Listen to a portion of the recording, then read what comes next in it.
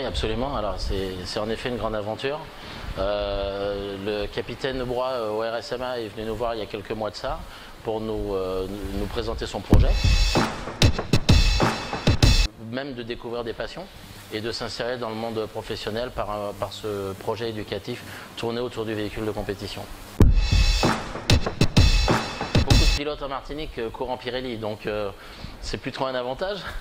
ça va les remettre sur le même pied d'égalité. Mais aujourd'hui, oui, ça sera un avantage d'avoir un pneumatique euh, réputé dans, cet univers de compétition et, euh, à l'échelle mondiale, puisque les rallyes euh, en métropole et en Europe et dans le monde, les véhicules sont équipés de Pirelli, comme en Formule 1 présent sur le territoire depuis de nombreuses années. on a plusieurs centres, hein, donc on a trois centres.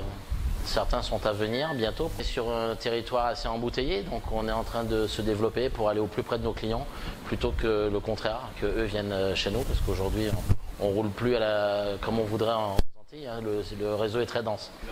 Merci, à bientôt, au revoir.